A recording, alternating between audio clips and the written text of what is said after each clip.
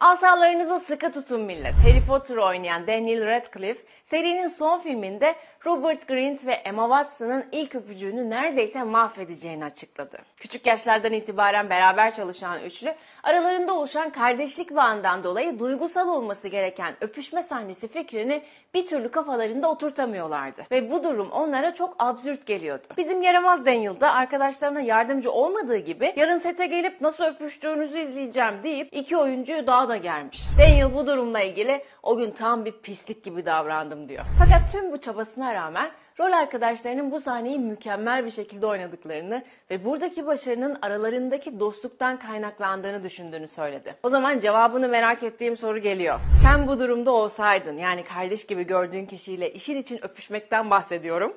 Ne yapardın?